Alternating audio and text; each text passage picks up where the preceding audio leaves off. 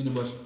Kemarin itu saya berkunjung ke panti asuhan salah satu panti asuhan di desa Bali Gondo yaitu panti asuhan Tahfidul Quran namanya itu dan waktu pulang itu saya diberi oleh-oleh di sana itu apa itu namanya?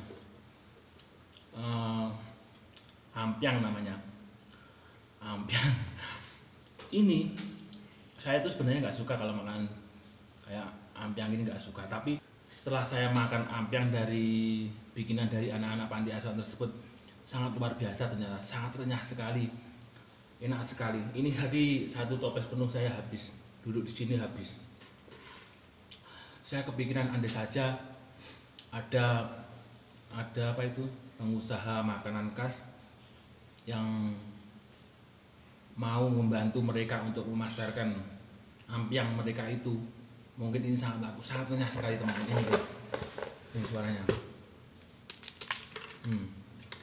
sangat sangat renyah dan apa itu bumbunya itu pas nggak nggak apa ya nggak ada rasa apa kalau di Jawa itu rasa tengi tenginya itu nggak ada hmm. Wah, sekali. Hmm. Hmm. Dengar suaranya enggak? Hmm. Hmm. Ini nanti kalau enggak, ini nanti kalau enggak saya hentikan, ini nanti pasti habis. Nah, ya. Andai saja ada orang yang melihat video saya ini, mereka itu adalah pengusaha pengusaha apa itu makanan khas dan mereka mau membantu anak-anak yang bekerja sama dengan panti asuhan itu pasti di situ banyak banyak manfaat yang didapatkan di situ. Jadi untuk yang pedagangnya dia dapat keuntungan selain dapat keuntungan dia dapat dapat pahala untuk membantu panti asuhan tersebut. Karena panti asuhan tersebut saat ini sedang bangun masjid gencar gencar bangun masjid. Di situ itu ada seorang bapak yang sangat sangat apa ya menurut saya itu? Sangat luar biasa.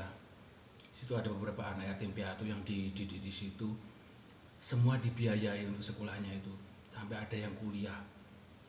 Luar biasa manajemennya tersebut luar biasa. Betul. Saya akui. Nah kembali lagi ke ampiang ini. Kembali ke ampiang ini. Bila mana ada seorang pengusaha yang mau bekerja sama untuk memasarkan ampiangnya anak-anak yatim ini mereka itu pasti akan mendapat keuntungan. Soalnya luar biasa enak banget. Itu mereka itu enggak enggak dibentuk ampiang cuma di kebel-kebel gitu tapi saya kira itu malah menjadi khas tersendiri jadi nggak usah dibentuk kayak ampiang kayak ampiang seperti biasanya itu. Jadi bentuknya itu seperti gembel ini. Kalau masalahnya kalau biar malah lebih terkenalnya lebih orang itu mengetahui kalau itu ampiang dari dari pondok situ ya ini bentuknya kebal-kebal gini. Jadi itu jadi nilai tersendiri untuk penjualannya. Oke teman-teman terima kasih telah menonton video saya. Ini saya bikin video ini nggak ditonton juga nggak apa-apa. Yang penting daripada nganggur saya ingin mengiklankan ini siapa siapa tahu ada manfaatnya ada pengusaha yang tergugah hatinya untuk membantu mereka. Oke teman-teman Assalamualaikum warahmatullahi wabarakatuh. Saya mau meneruskan makan ampiang hmm.